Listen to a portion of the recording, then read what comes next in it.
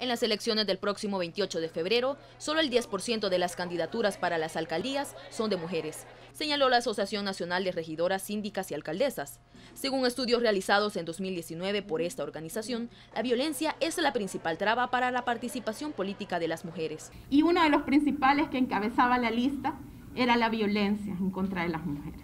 Entonces, basados en evidencia, podemos decir que este digamos, este estudio nos dio una primera premisa hace dos años de dónde andaba la situación para las mujeres a partir de las elecciones que habían pasado antes, ¿no? que eran las de 2018, en donde por segunda vez se aplicaba la cuota de género establecida en el artículo 38 de la Ley de Partidos Políticos. Por eso, junto con el Instituto Nacional Demócrata Andrisas, ha iniciado un estudio para contabilizar estos actos de violencia contra las mujeres.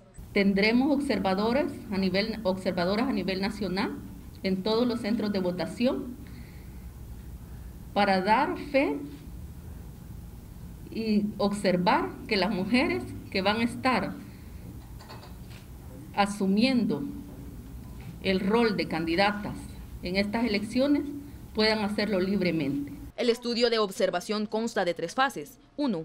Analizar los perfiles de los candidatos y candidatas. 2. Registrar actos de violencia ocurridos en medios de comunicación y redes sociales. 3. Verificar denuncias en la Fiscalía General de la República después de las elecciones. Hablar de la violencia en contra de las mujeres, pues incluye eh, desde la concepción del Instituto Nacional Demócrata todas las formas de agresión, coerción e intimidación en contra de mujeres según la encuesta de hogares de 2019, en El Salvador hay más mujeres que hombres, constituyendo el 52.9% de la población, pero su representación política es inferior. Para Teleprensa Canal 33, Alejandra Barahona.